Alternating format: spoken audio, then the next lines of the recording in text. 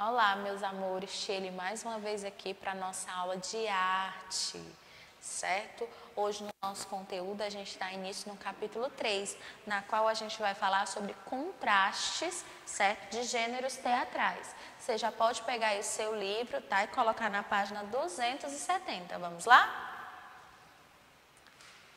Na página 270, certo? A gente vai fazer a visualização aí dessas duas imagens.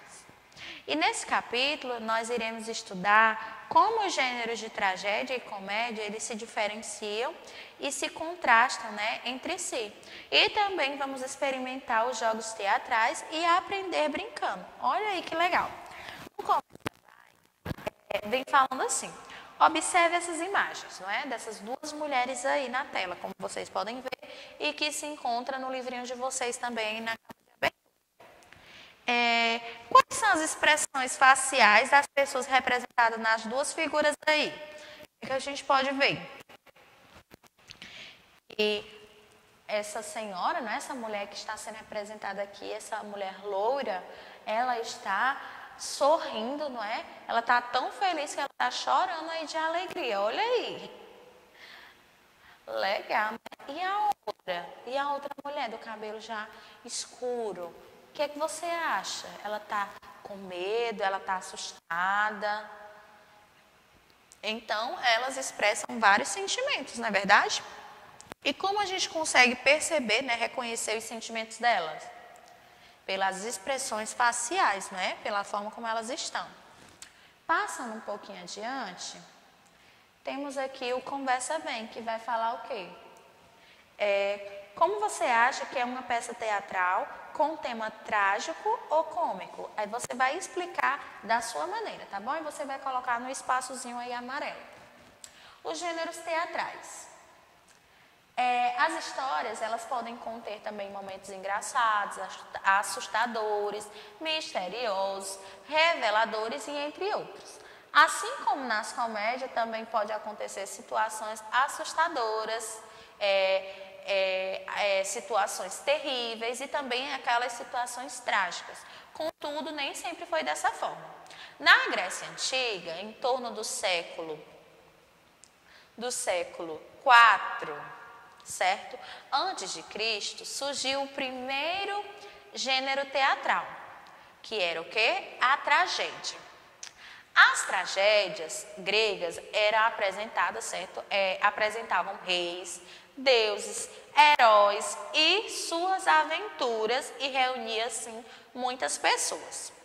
O teatro de Epidauro, por exemplo, ele tinha capacidade para 13 mil pessoas. E hoje, né, é famoso e se, ainda, né, tornando-se famoso até hoje por conta da acústica, tá? Notável. A acústica, gente, é a propagação dos sons em um ambiente com base na percepção dos ouvintes. Pronto, melhorou aqui a imagem.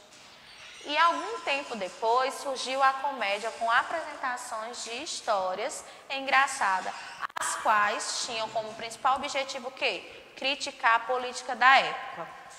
E a tragédia é uma, é, a tragédia e a comédia grega são muitos aliás, são muito importantes e embora atualmente sejam produzidos poucas apresentações de tragédia, os elementos trágicos estão inseridos em novelas, filmes, histórias em quadrinhos, animação e entre outros. Tá bom, gente?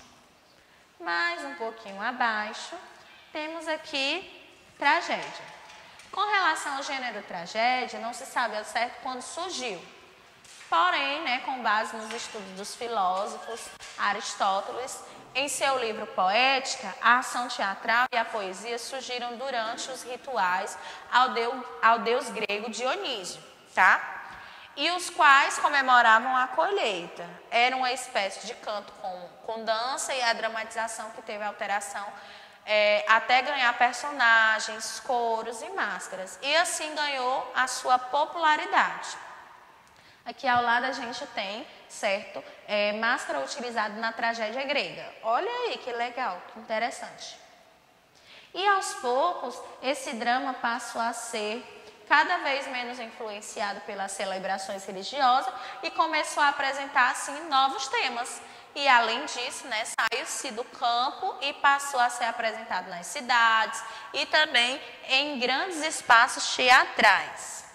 E assim, o teatro ele se tornou tão popular que já havia concurso para premiar os melhores espetáculos. E a tragédia, como um gênero teatral, baseava-se em mitos heróicos ou em histórias antigas. Mais um pouquinho abaixo, a gente tem aqui o Aprender Brincando, que está falando assim: vamos brincar? Coloque quatro cadeiras de frente, um, é, de frente para a turma e forme grupos de quatro alunos. Como a gente bem sabe, né, a gente ainda está é, isolados, né? A gente está tá tendo essas aulas remotas e essas atividades a gente faz com a ajuda dos responsáveis, tá? Dos pais, dos tios, dos irmãos, aí quem mora com você, tá bom? E fazendo isso, cada grupo, vocês vão se dividir aí na casa de vocês, cada grupo deve se sentar nas cadeiras e ficar com o corpo imóvel, podendo realizar apenas expressões faciais. Lembrando né, que não pode, não deve mexer nem é, o corpo e nem usar a voz. Só, é, e você vai escolher três expressões que você vai representar. Temos aqui né, o medo, a dor e a felicidade. E o, cada grupo deve realizar as expressões faciais ao mesmo tempo por diversas vezes. Aguardem o comando né, da pessoa que vai estar guiando aí essa atividade, tá bom?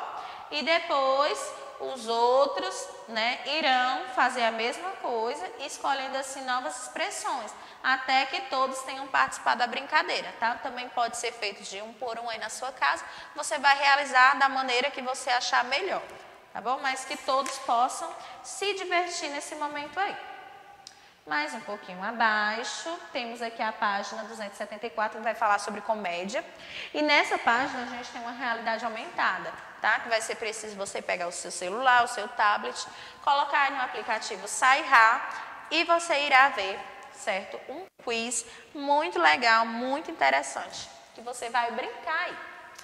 E falando sobre o gênero né, de comédia. A comédia ela surgiu aproximadamente, aproximadamente há 50 anos depois da tragédia, certo? Na Grécia, e Aristofanes né, foi quem escreveu as comédias mais antigas que se conhecem. E para a apresentação delas usava-se as máscaras e assim desenvolvia né, é, histórias fantasiosas e também críticas a personalidades públicas, a personalidades públicas e famosas. Né? E na comédia tudo é motivo para riso. Até o que aparentemente não tem graça alguma torna-se engraçado pela forma como os atores representam no palco, certo? Aí vem aqui mais abaixo, está perguntando se você já viu estas máscaras, não é? Que é uma com a expressão feliz e a outra com a expressão triste, certo? E elas são a representação do teatro, tá? Na Grécia Antiga, quando tudo começou, não existia tecnologias como hoje, não é? para a criação de efeitos visuais e também os efeitos sonoros. Então era necessário ter muita criatividade e as máscaras eram utilizadas para ampliar os efeitos visuais da peça, trazendo assim né, a, dramatizar, a dram, dramaticidade tanto para a comédia quanto para a tragédia, tá? Então quando vocês verem essa, é, é, essa imagem aqui dessas máscaras, vocês estarão lembrando Assim vocês lembrarão certo da expressão teatral, né? Lembrarão do teatro, tá bom? Nessa mesma página a gente tem aqui o Mão na Massa que está pedindo para você ir até a página 39 do material de apoio, tá? E você irá recortar a máscara de comédia, certo? Da comédia que está lá. E você vai enfeitar com os materiais que você tiver aí na sua casa. E depois você vai, certo? É, mostrar por meio da sua máscara, que comédia geralmente é engraçada, tá bom? E você pode estar fazendo um pequeno videozinho, né, fazendo aí essa dramatização de comédia para a Tia Eli ver, tá bom? Tia Eli aguarda aí de vocês esse pequeno vídeo. Passando aqui à frente, temos aqui o Vamos Aprender Brincando também, que tem o quê? Vamos ensinar com improviso, dividindo-se assim em grupos, e cada grupo vai ficar responsável para trabalhar com uma obra de arte né, que você pode estar procurando, tá bom? A melhor aí que você achar. E você vai escolher né, uma pessoa para representar o personagem da obra que você escolheu.